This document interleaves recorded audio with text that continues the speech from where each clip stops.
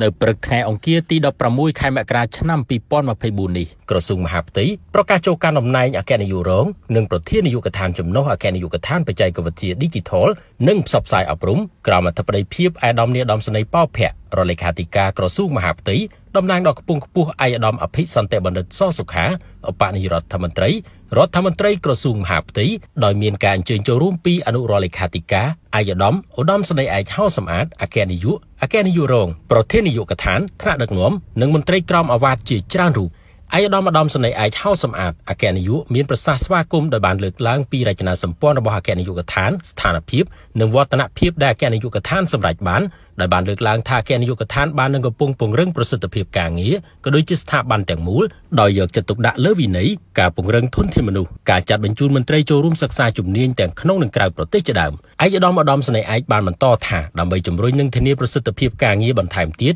អគ្គនាយកដ្ឋានក៏បានពង្រីកនិងពង្រឹងកិច្ចសហប្រតិបត្តិការជាមួយអង្គភាពនិងស្ថាប័នពាក់ព័ន្ធលើការងារបច្ចេកវិទ្យា Digital ផងដែរ។ បន្ថែមពីនេះឯកឧត្តមបានលើកឡើងថាអគ្គនាយកដ្ឋានតែងតែជំរុញលើកទឹកចិត្តមន្ត្រីគ្រប់ជាន់ថ្នាក់ឲ្យបន្តចូលរួមចំណែកពង្រឹងនិងបំពេញការងារស្នូលប្រកបដោយទំនួលខុសត្រូវខ្ពស់ស្របតាមផែនការនិងយុទ្ធសាស្ត្រដែលរដ្ឋាភិបាលក៏ដូចជាក្រសួងមហាផ្ទៃបានដាក់ចេញឯកឧត្តមនាយដំស្នីប៉ោភ័ក្ររដ្ឋលេខាធិការបានបញ្ជាក់ថាកម្មវិធីថ្ងៃនេះបញ្ជាក់ច្បាស់ពីការយកចិត្តទុកដាក់របស់ថ្នាក់ដឹកនាំក្រសួងនិងថ្នាក់ដឹកនាំគ្រប់កម្រិតក្នុងអគ្គនាយកដ្ឋានដោយបានមើលឃើញពីសមត្ថភាពសមស្របមុននឹងមានការស្នើសុំឲ្យមានការតែងតាំងនេះ។ បន្ថែមពីនេះឯកឧត្តមបានលើកឡើងថាការអនុវត្តទូនីតិភារកិច្ចរបស់អគ្គនាយកដ្ឋានត្រូវផ្សារភ្ជាប់ជាមួយគោលការណ៍គោលនយោបាយជាអាទិភាពរបស់រាជរដ្ឋាភិបាលហើយការអនុវត្តការងារត្រូវមានភាពប្រតិក្រឡាគ្នាដើម្បីបង្កើនប្រសិទ្ធភាពការងារឯកឧត្តមនាយដំសនីក៏បានសម្ដែងនៅការកោតសរសើរនិងវិតម្លៃខ្ពស់ចំពោះថ្នាក់ដឹកនាំនិងមន្ត្រីនគរបាលជាតិគ្រប់លំដាប់ថ្នាក់ នៃអគ្គនាយកដ្ឋានបច្ចេកវិទ្យា Digital និងផ្សព្វផ្សាយអប់រំ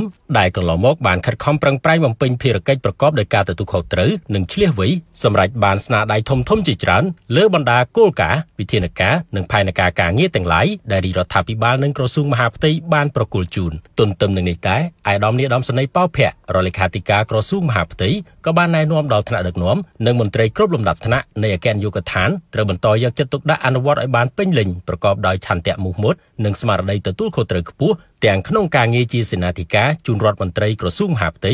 និងទាំងក្នុងទូនីតិភារកិច្ចនៃការទទួលខុសត្រូវរបស់ខ្លួន